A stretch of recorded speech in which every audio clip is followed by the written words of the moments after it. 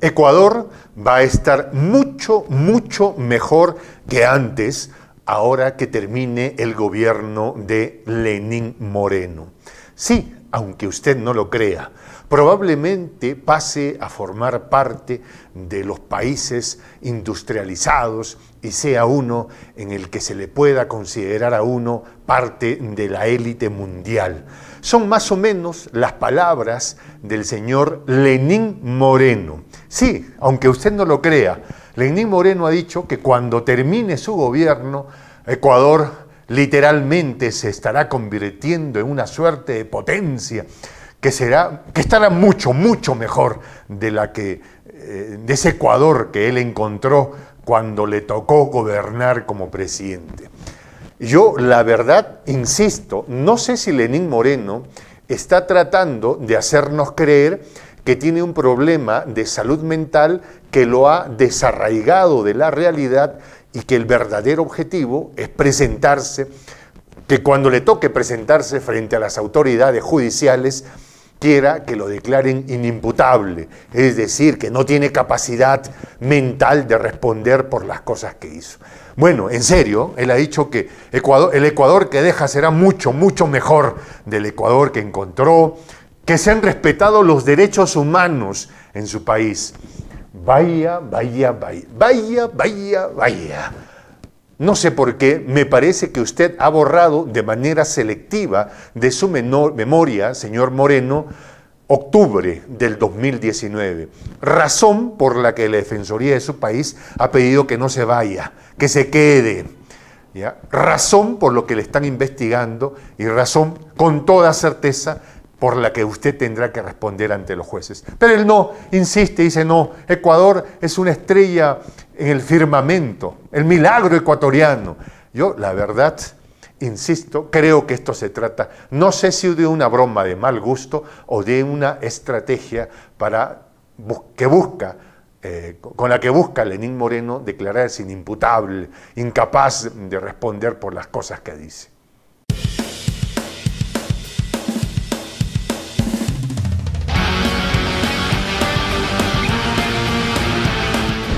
Hola, ¿qué tal? ¿Cómo están? Mi nombre es Juan José del Castillo, el J.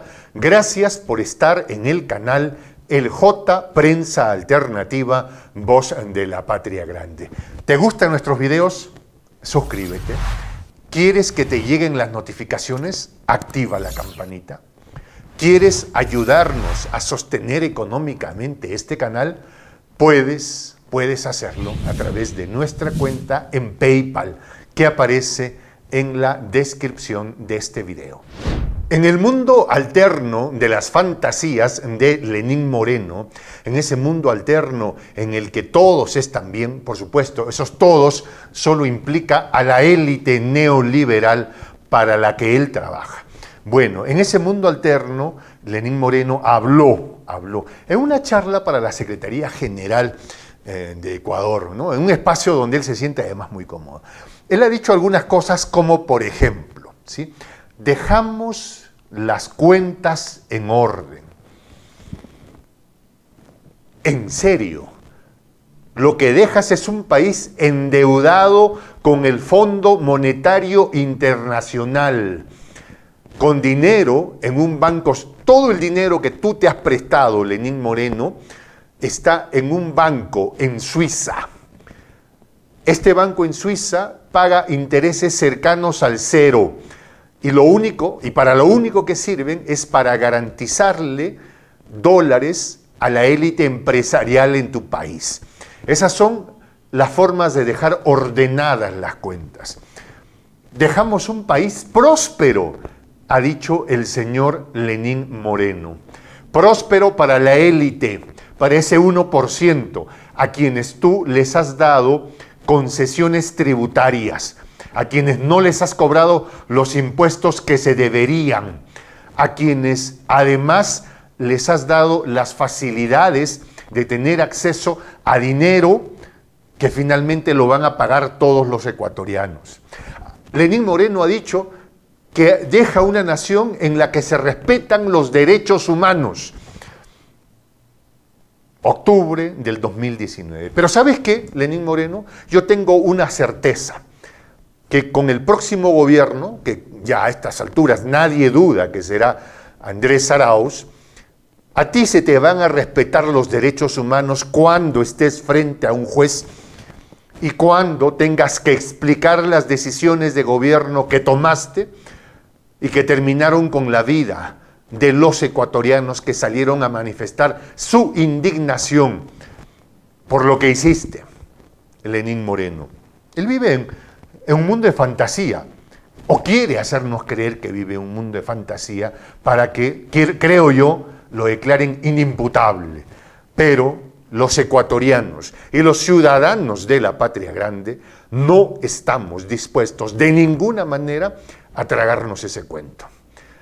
Estoy seguro, estoy seguro que las convicciones democráticas, institucionales y la determinación por la justicia del pueblo ecuatoriano y de sus, instituciones, de sus instituciones de justicia, que tendrán que ser alineadas con el derecho constitucional y no lo que está haciendo perversamente la señora Diana Salazar en la Fiscalía General de Ecuador, la justicia de Ecuador, cuando esté fuera de esos influjos malévolos de la señora Diana Salazar, sabrá imponer, sabrá perseguir el delito y sabrá imponer la justicia. Lenin Moreno es todo un comediante, o tal vez un mentiroso compulsivo. El neoliberal se ha despachado con una serie de afirmaciones y barbaridades, creíbles solo para los que ignoran la línea de tiempo de su gobierno. Ha sido su programa, de frente con el presidente, la oportunidad para desarrollar cómodamente sus burdas conclusiones sobre un mandato ampliamente cuestionado en el Ecuador. Tan desprestigiado que incluso las encuestadoras, herramientas afines al neoliberalismo y con poca credibilidad, han tenido que reconocer el rechazo hacia Moreno, reflejando una desaprobación del 95%. Un 95% que seguramente, sin el maquillaje y manejo de dígitos con el que suelen obrar, debería arrojar un 100%. A Lenny Moreno no lo quiere nadie. Pero Moreno se resiste a creerlo y asegura que su paso por el palacio de Carondelet le ha permitido afianzar la democracia garantizar los derechos humanos y las libertades. Y como Moreno es un tipo incansable, también, según él, ha manejado con responsabilidad la deuda externa. Es más, en su narrativa asegura haber dejado un Ecuador bastante mejor que el que él recibió. O sea, encima de todo, a Lenin Moreno hay que darle las gracias. Lenin, Cuente la verdad. Para el señor Lenín Moreno, la prosperidad implica lo que ha hecho en su gobierno. Y yo le voy a hacer acordar lo que usted ha hecho en su gobierno, Lenín Moreno. Usted ha llevado a cabo la peor gestión, creo compitiendo solamente con la peruana, u otras, bueno, pero una de las peores gestiones de la pandemia en Latinoamérica.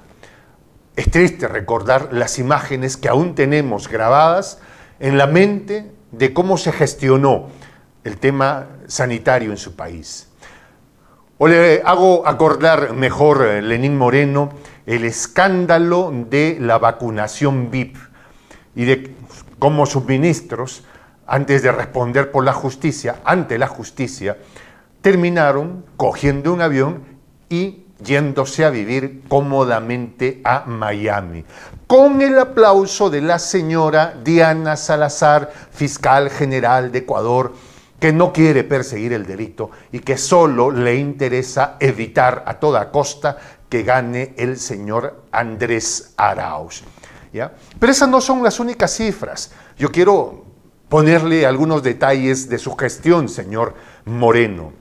Nada más entre febrero del 2020 y febrero del 2021, la deuda externa de su país ha subido de 41 mil millones de dólares a 45 mil millones de dólares. ¡Bravo! Esa es la prosperidad con la que usted deja el gobierno. Una nación a la que usted ha expuesto a deudas absurdas frente al Fondo Monetario Internacional.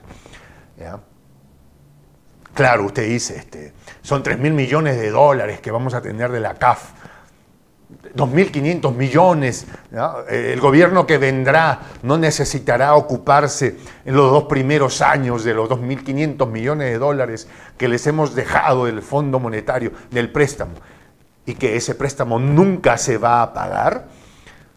Las condiciones de crédito que implicaron la entrega de qué, a favor de quién. Lenín Moreno, usted tiene mucho que responder. Yo le sugiero, de verdad, con todo afecto, olvídese de hacer maletas y sepa que con el honor que usted dice tener, piense en presentarse ante la justicia, piense en su deber de responderle ante los jueces por las decisiones que tomó. Los números son más fríos que el propio Lenin Moreno. Se atrevió a hablar de economía y a defender su manejo de la deuda externa, manejo que según él ha sido responsable y oportuno. Es más, Lenny Moreno le ha dicho a su próximo sucesor que tiene la fortuna de poder aprovechar una caja de 2.500 millones de dólares gestionados por él mismo y otorgados por el Fondo Monetario Internacional. Lo que no ha contado Moreno es que, producto de sus políticas, la deuda externa ha aumentado en 8,82% en el último año superando los 45 mil millones de dólares en total, que para él ya son tema aparte, pues su mandato simple y llanamente termina el 24 de mayo próximo. Poco le ha importado el reciente informe de UNICEF que revela que su gobierno ha decidido afrontar su endeudamiento a un alto costo social. Un ejemplo de ello son los recortes en el presupuesto de los servicios infantiles para nutrición, salud y educación todo esto en plena pandemia. Lenín Moreno dice que deja un país próspero. Bueno, próspero para sus amigotes neoliberales que pertenecen a la élite de su país, pero no para las finanzas públicas. Y vamos a hablar exactamente del tema de la deuda pública, ¿le parece? Es decir, de lo que debe el Estado de su país. Cuando usted llegó, cuando usted llegó al gobierno, su país tenía una deuda de aproximadamente 44 mil millones de dólares. ¿ya? La deuda pública era de 44 mil millones de dólares. Esta ha subido, ha subido a 64 mil millones de dólares. ¿A favor de quién? ¿Quién se ha enriquecido con esta con este margen, el crecimiento ha sido del 8.3% más o menos. En el 2019 ha alcanzado 53 mil millones de dólares. ¿A dónde se fue ese dinero, Lenín Moreno? Porque, igual que Macri, cuando se, se hagan las sumas y las restas y se vea cuál fue la ruta del dinero, usted va a tener que explicar mucho. Cuando usted llega, su país debía tanto, ahora debe mucho más, le he dado ya las cifras. ¿Ya? ¿A dónde se fue el dinero? ¿Fue usted un mal gestor, como, como luego va a intentar demostrar, o es que usted actuó de mala fe, intentando engrosar los bolsillos de sus compinches? No venga con esto de que no, nosotros dejamos un país próspero, no. Usted deja a una élite neoliberal que ha prosperado mucho bajo las políticas de endeudamiento y de sometimiento neoliberal. Y luego viene a hablarnos de derechos humanos. Derechos humanos, le vuelvo a hacer acordar las barbaridades que usted hizo en octubre del 2019.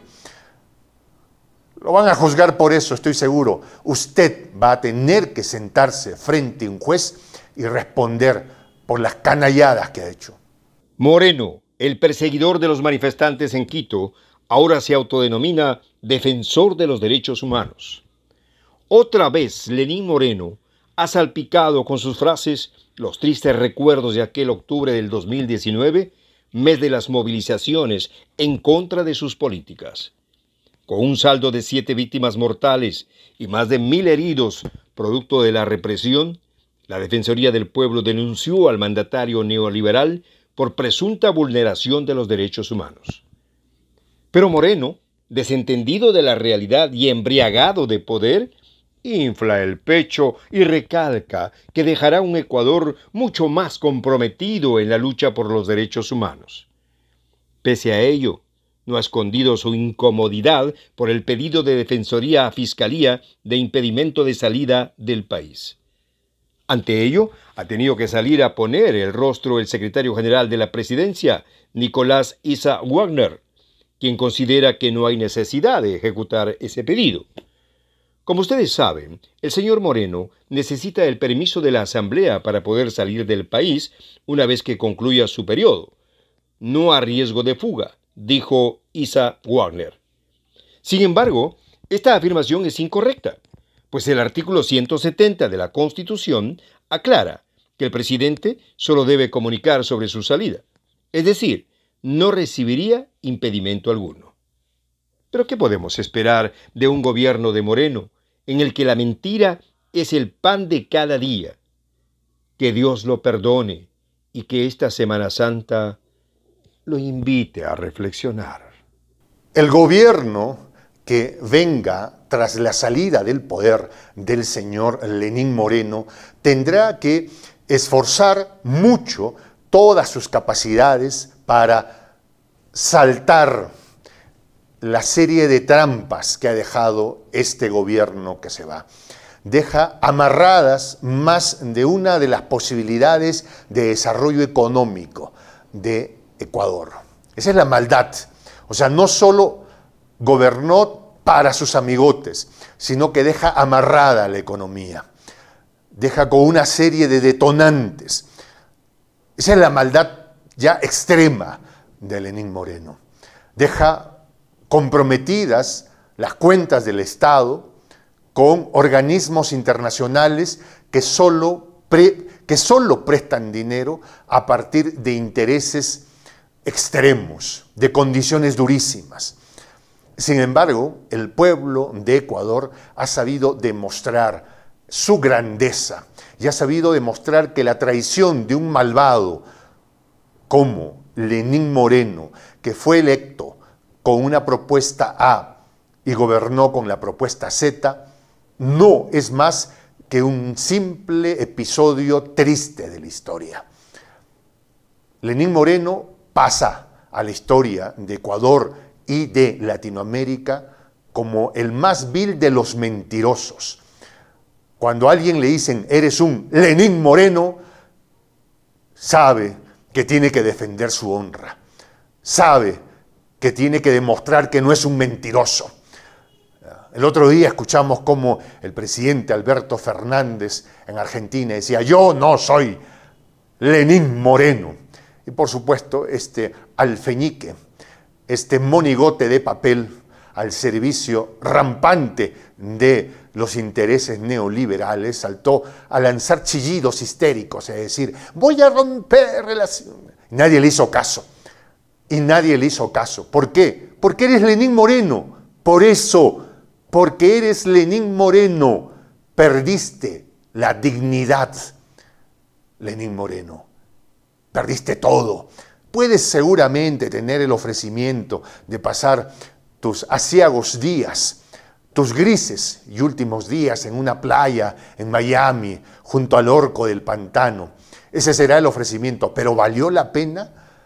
¿Quién sabe? Ni siquiera puedes cruzar la frontera. ¿Quién sabe te quedas en Ecuador?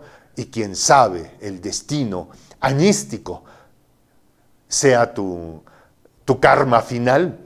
Y cuando digo destino anístico no quiero decir que termines en una mazmorra, sino el destino de responderle a la justicia.